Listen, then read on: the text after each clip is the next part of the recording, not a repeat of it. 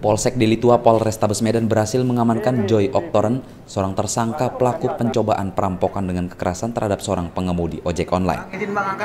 Tersangka yang juga tercatat sebagai salah satu karyawan supermarket di Jalan Setiabudi ini sebelum digelandang ke Mako Delitua sempat dihakimi oleh masa.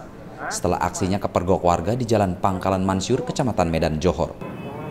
Kapolsek Delitua Kompol Bernard El Malau dengan didampingi oleh Kanit Reskrim Ibtu Prastio menjelaskan saat berupaya merampok, tersangka sempat melukai korbannya dengan senjata tajam berjenis pisau. Awalnya pelaku memesan ojek online dan setelah berada di Jalan Nasution, tersangka mulai melancarkan aksinya dengan menikam dagu serta tangan korban. Namun korban melakukan perlawanan sehingga aksi perampokan tersebut gagal. Kini tersangka masih mendekam di Mako Delitua untuk keperluan pemeriksaan lebih lanjut oleh petugas kepolisian.